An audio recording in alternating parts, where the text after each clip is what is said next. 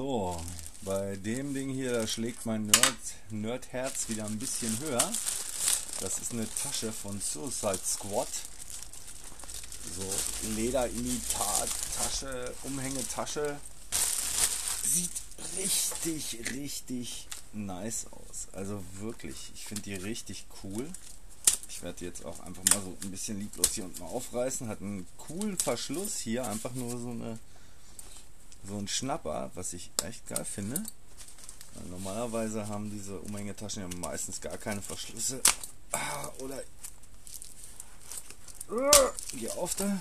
Aber das, das finde ich ist mal gut gemacht. Das ist auch vom Design her sehr cool gemacht. Warte, ich brauche mal ein Messerchen schnell. Bam. Zack. So, was steht hier drauf?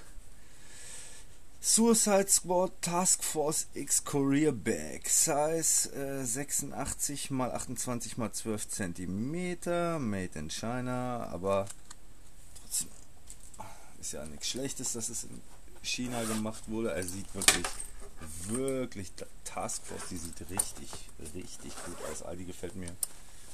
Die gefällt mir wirklich die Tasche. Jetzt machen wir die mal auf. So. Alles geil. Das finde ich auch geil. Dass da dann halt auch auf dem. Ups, wenn es hier nicht so zusammenkleben würde. Äh, dass dann auch auf dem Trageriemen steht dann Suicide Squad drauf. Sehr cool gemacht. Von innen. Hier oben ist nochmal ein Reißverschluss.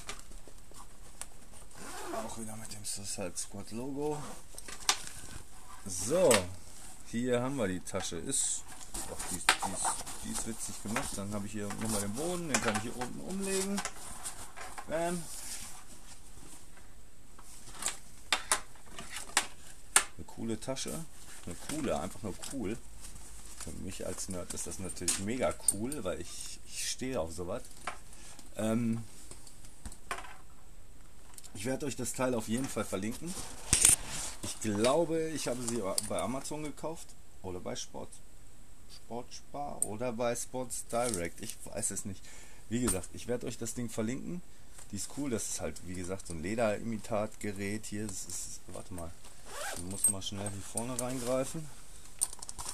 Okay, ich dachte, das wäre irgendwie nur verstärkt, aber das ist scheinbar so. Okay, nice. Ähm, jetzt habt ihr das Ding mal gesehen. Lasst mir einfach einen Kommentar da, abonniert meinen Kanal, lasst mir einen Daumen hoch da oder einen Daumen runter oder was auch immer. Ich wünsche euch noch einen nerdigen Tag. Bis dann, dann. Ciao.